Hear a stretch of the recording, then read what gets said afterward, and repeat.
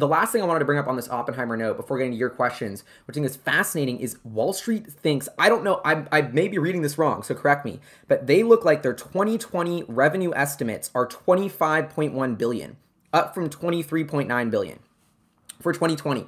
They're expecting 25.1. That would be like 3 or 5% growth from 2019 to 2020. I mean, that is this is the guy who has a $600 price target. Thinks Tesla's going to do 25 billion in 2020 revenue, 29.4 billion in 2021 revenue. The point is I just think this is getting started. If the street is coming out with a $600 price target and they're only expecting 25 billion in revenue next year, I mean, my estimates that I put out on hypercharts for a video, um, I actually just toned them down to make them even more conservative. Was like 32 and a half billion, and that's more than their 2021 estimate is only 29.4 billion. So my point is, if you think Tesla's on the cusp of delivering over 500,000 cars this year, which I think is a given, I think it's about 550,000 cars we are looking at a massive re-rating upward for Wall Street uh, estimates. And what does that mean? I mean, now this is the fun part because for so long Wall Street didn't get it. They didn't get it. We were getting sort of the, the bad end, the short end of the stick with the whole Wall Street situation, their short-term thinking. But now that's sort of flipping and that short-term thinking, the way the Wall Street system works is now going in Tesla's favor. They have all of these Excel models with all these fancy numbers predicting how much money Tesla's going to make. They move extremely slow. They're lagging. They're slow to react and update these.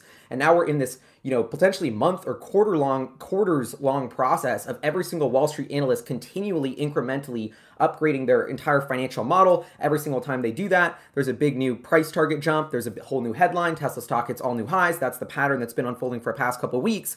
And my point is, if you look at these estimates and you look at what Tesla's about to do, that looks like it could continue significantly into the future. Because um, I think to sum up my whole point and rant here, if you're just joining us, I think Wall Street is hugely underestimated. Even the, some of the biggest bulls on Wall Street are just totally underestimating what this company is going to do in 2020 and 2021. And I think that is is what's driving the stock here. Is looking at continual re-ratings upward.